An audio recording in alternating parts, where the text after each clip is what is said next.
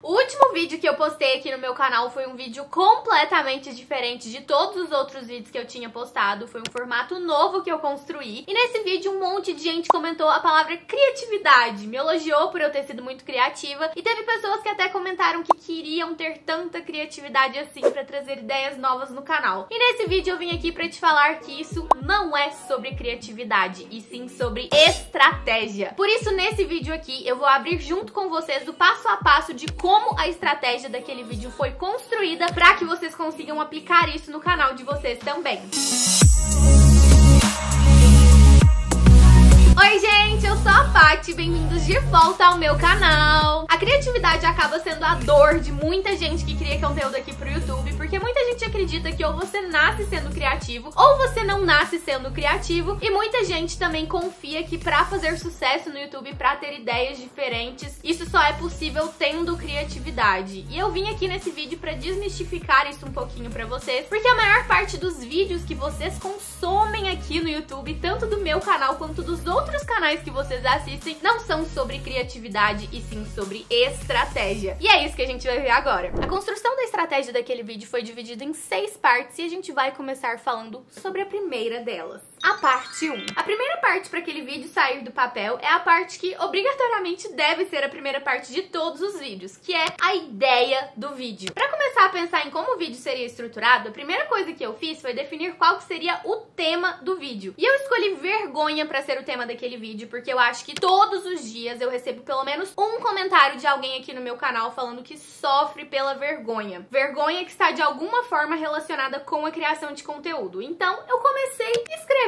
a palavra vergonha aqui nesse slide, foi a primeira coisa que eu fiz. E aí depois a gente pode pensar, ok, mas vergonha do quê? Quando a gente pensa em vergonha de criar conteúdo pra internet, quais são as primeiras palavras que a gente vê em mente? Esse processo aqui foi um processo de brainstorming. Então eu fui jogando aqui algumas palavras. Então, de gravar, de julgamentos, críticas, gravar em público, de fracassar. E aí eu comecei a descer nessa ideia para eu entender qual que seria o sentido do vídeo, para onde que eu ia seguir dentro desse tema de vergonha. Então eu escrevi aqui, possíveis sentimentos de vergonha na criação de conteúdo conteúdo. Medo, ansiedade, trava, travado. Descendo mais um pouco, do que, que as pessoas sentem vergonha quando a gente tá falando em gravar pra internet? Então aqui eu fui escrevendo tudo que eu fui lembrando dos comentários que vocês sempre acabam deixando aqui no meu canal. Vergonha de gravar na frente dos outros, medo de gravar um vídeo ruim, medo de postar e ninguém assistir, medo de postar e as pessoas assistirem e por aí vai. A partir dessas ideias que eu fui levantando, eu já pude dar um check na parte 1 da criação do vídeo, que é a parte da ideia, e ir pra parte 2 depois da criação do vídeo, que eu não sei se isso vai surpreender vocês ou não, mas provavelmente vai. E eu falo isso porque a parte 2 daquele vídeo foi definir qual que seria o título do vídeo. Antes mesmo de escrever roteiro, antes mesmo de pensar em qualquer outra coisa. Então, trazendo aquelas frases que eu já tinha escrito aqui, do que, que as pessoas costumam ter vergonha? Possíveis ideias de título para esse vídeo. Fui escrevendo tudo que me veio à cabeça. E aí, por fim, eu cheguei em todas essas ideias aqui, e as que mais me agradaram agradaram foram essas duas aqui. Então eu sobrei com essas duas ideias. A minha estratégia para escrever o título daquele vídeo não foi pensando no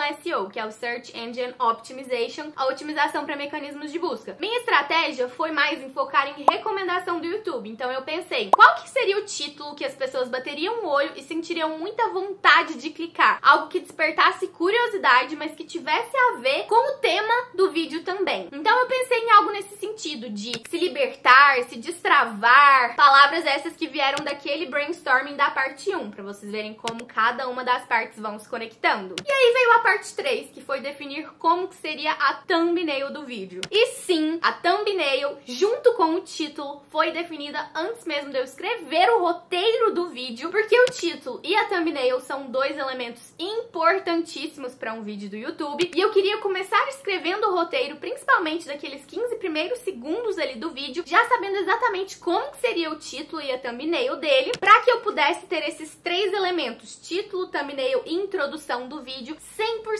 conectados. Então, pra eu pensar na thumbnail do meu vídeo, eu fui lá no site thumbsup.tv. É um site ótimo porque nele a gente consegue jogar a thumbnail que a gente montou junto com a frase que a gente pensou de título pra ver quais que são os possíveis formatos que o nosso videozinho thumb mais título vai aparecer em todos os dispositivos possíveis aqui no YouTube, pra eu começar a entender como que seria a thumbnail desse vídeo junto com o título. O primeiro formato de thumbnail que eu cheguei foi esse aqui. Eu pensei em fazer uma thumbnail que tivesse algo que quem tem um canal no YouTube reconheceria só de bater o olho assim, como um gráfico do YouTube Studio, mais com uma corzinha assim da minha identidade visual. E pra fazer isso, eu me inspirei em um canal que eu gosto bastante, que é o canal Film Booth, que é um canal lá da Inglaterra que traz conteúdos em inglês sobre como crescer no YouTube, mas mais focado na edição de vídeos e em estratégia para YouTube. Então, me inspirando nas thumbnails que ele traz no canal dele, eu cheguei nesse primeiro formato, mas eu não gostei muito porque eu achei que essa pose aqui, de uma foto que eu já tinha, não combinou muito com a vibe que eu tava querendo trazer no vídeo. E aí eu fui e substituí a foto por essa foto aqui. Mas essa frase que eu escrevi, falta só isso, ainda não tava me agradando muito. E foi quando eu cheguei nesse modelo de thumbnail aqui. Obviamente que isso aqui é só um protótipo, né? É um modelo pra eu mandar pra minha designer gráfica poder fazer uma thumb bonitona pra mim. É só pra eu ter a ideia de como que seria thumb mais título pra eu conseguir escrever o roteiro. E aí eu acabei gostando bastante dessa ideia de um gráfico que subiria assim. A minha ideia inicial seria trazer uma algema aqui em mim, mas a, na minha thumbnail acabou ficando com uma corda que tava totalmente conectado com a ideia de título que eu escolhi, né? Que é se liberte disso se quer crescer no YouTube. E esse aqui foi o resultado final dessa parte da estratégia daquele vídeo, que eu acabei gostando bastante, me sentindo muito segura para ir para próxima parte da estratégia daquele vídeo, que foi o roteiro. Então a primeira coisa que eu fiz foi escrever o escopo do roteiro, que eu também fiz em slides de PowerPoint, e o primeiro passo dessa etapa foi colar aqui a thumbnail lá do Thumbs Up TV, thumbnail mais título, para eu entender como que eu ia conectar os 15 primeiros segundos do vídeo com esse título e com essa thumb. Raciocina aqui comigo, a pessoa bateu o olho ali no título e na thumbnail e clicou no vídeo para assistir os primeiros segundos. Essas três coisas, título, thumbnail e introdução, precisam precisam estar muito conectadas, porque isso favorece muito a taxa de retenção. Estão percebendo como tudo é estratégia? Então, o escopo da minha introdução foi 100% pensado no que, que eu trouxe no título e na thumbnail, e foi exatamente por isso que a definição do título e thumbnail vieram antes mesmo do roteiro e mais antes ainda da gravação do vídeo. Porque geralmente muita gente deixa pra pensar na thumb só depois que grava, né? Ah, deixa eu tirar uma pose aqui qualquer pra depois eu me virar com a thumbnail. Nesse vídeo eu decidi usar a estratégia de trazer essa etapa para antes mesmo do roteiro para tudo ficar ainda mais conectado.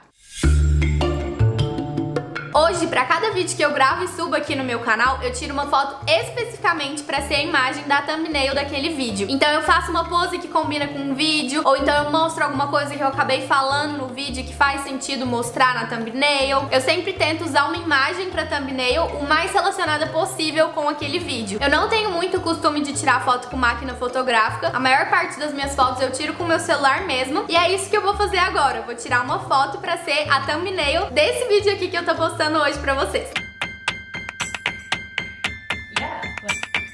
Prontinho, já tirei algumas potenciais fotos pra ser a foto da thumbnail desse vídeo aqui tudo sobre evolução também. Seguindo nessa parte do roteiro, depois o que, que eu fiz ainda aqui nos slides foi montar só um esqueletinho assim do que, que eu traria no conteúdo desse vídeo. Então, eu decidi fazer um vídeo onde eu traria os tipos de vergonha possíveis para gerar identificação com o meu público. E aqui eu selecionei quatro tipos. Então, eu escrevi todos os tipos aqui que eu ia trazer para depois eu ir para a parte 2 dessa parte 4, que é descrever o roteiro, que é a de escrever o roteiro completo. E para falar do roteiro completo, a gente vai ter que sair sair dos slides e vir aqui para essa parte de documentos, porque eu abri uma folha em branco para eu descrever cada palavra que eu falei naquele vídeo. Esse foi um roteiro diferente também dos demais roteiros, porque já que eu estava disposta a trazer um formato completamente diferente de vídeo no meu canal, eu tive também que me adaptar na hora do roteiro para eu me sentir um pouco mais segura na hora de gravar. Então aqui, nesse momento do roteiro, eu escrevi cada uma das palavras que foram ditas naquele aquele vídeo com um roteiro que acabou tendo seis páginas. E depois de ter fechado e decidido tudo que eu ia trazer no vídeo de conteúdo, depois o que eu fiz para finalizar a próxima parte da minha estratégia, que foi a gravação, foi dividir tanto os takes que eu ia gravar. Muita gente me pergunta se eu sento e gravo tudo de uma vez ou se eu vou gravando aos poucos. Então, nesse caso aqui, eu selecionei para eu gravar um take de cada vez, já pensando lá na gravação e na edição para facilitar a minha vida. E eu também decidi aqui quais takes iriam ser gravados em quais lugares, porque se você assistiu aquele vídeo, você provavelmente sabe que aquele vídeo foi um vídeo bem dinâmico que foi gravado em vários ambientes diferentes. Então, isso foi decidido no próprio roteiro do vídeo, antes mesmo da gravação, para eu não ficar perdida no momento de gravar. Então, aqui, como vocês podem ver, eu fui selecionando cada um dos parágrafos de uma cor diferente. Então, todos que estão de amarelo foram gravados no mesmo lugar, todos que estão de azul também, todos que estão de verde também, e assim por diante. E aqui eu fui escrevendo take 1, take 2 e take 3 para facilitar a parte 5, que foi a parte de gravação, e a parte 6, que foi a parte de edição. A gravação daquele vídeo foi feita em partes, take por take, e sempre antes de começar a gravar um take, eu falava o número daquele take logo no comecinho da gravação, para eu não me perder na parte 6, que é a parte de edição. Take 1, take 2, take 3,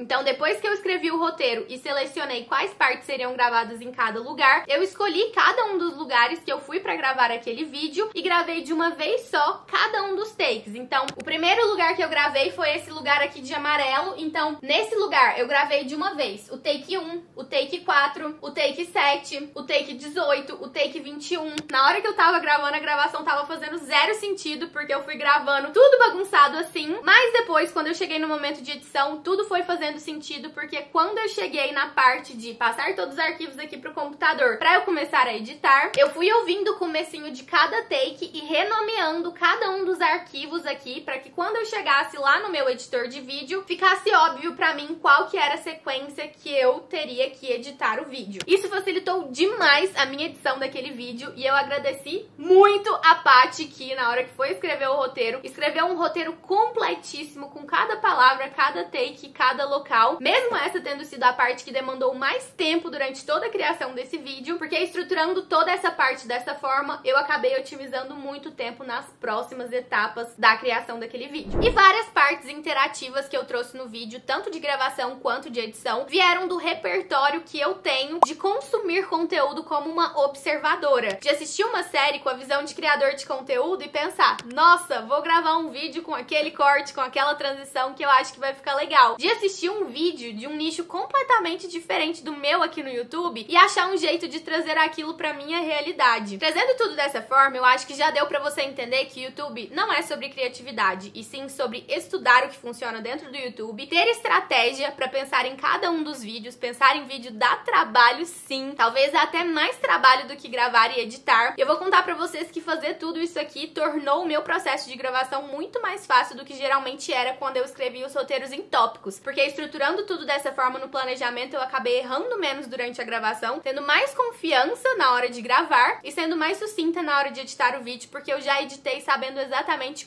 como que eu queria que esse vídeo ficasse. Então essa foi a estratégia que eu usei para aquele vídeo, que você pode começar a usar agora, a partir do próximo vídeo do seu canal. E eu espero que vocês tenham gostado de acompanhar um pouquinho de como foi os bastidores daquele vídeo diferentão que eu trouxe aqui no meu canal. Vejo vocês no meu próximo vídeo. Tchau!